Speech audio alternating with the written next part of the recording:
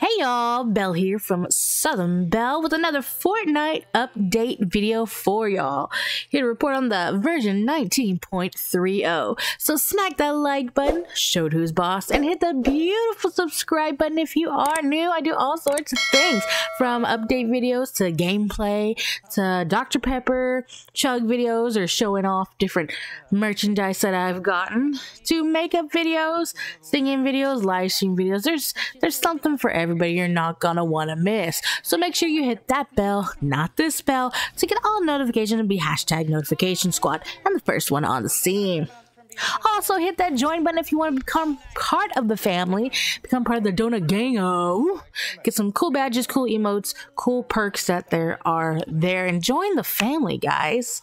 You can also help support the channel by using the support a creator code southern underscore Bell 90 whether that be here on fortnite getting some cool skins or on the epic gaming that are here on the epic games launcher.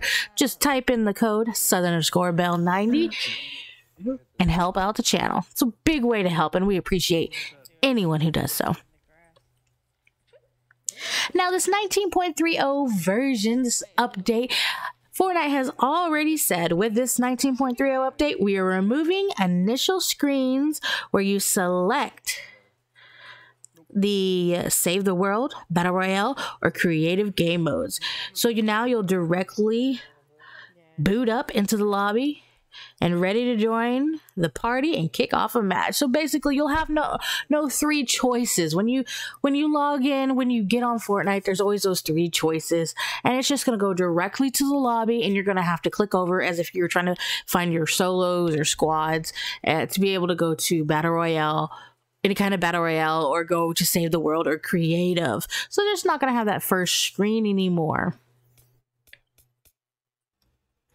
Also, don't forget about the Stoneheart trials. Sign up for the Stoneheart trials to complete challenges and earn in-game rewards, including a monocosm, sprays, and heart wrap, and a pickaxe. You can do this by clicking on the link down below. I'll have it into my description for y'all. There's also a video y'all can go look at that further shows you. But signing into it through your either PlayStation login, your Epic login, or whatever login you log into Fortnite, um, and getting it registered and getting on and doing these challenges. Other than that, I personally do not have a whole lot of information on this update. Of course, you can always look to Fire Monkey and Hypex for your information. I know I always go and look for them. Right now, I don't have any information for you, um, but that's what I got. So I hope this was helpful. I think they're doing one thing in creative that has to do with fire. That's that's the only other thing that I think I know. One thing where it has to do with fire and creative. Um, you know, to make some cool stuff. But other than that, that's all I got for you. I hope you enjoyed. Uh, sorry if it's wasn't more information, you know, but I appreciate each and every one of you, and I'll see y'all in the next video. Bye, y'all. Show ass. Oh, you. Sorry, that was me. Well, What happened? Oh, there he is. Over the edge of the storm. Sorry. He, oh, he bounced. No, he didn't. I'm trying to make him bounce. Oh. So he bounced somewhere because he was right in front of me and then all of a sudden he disappeared.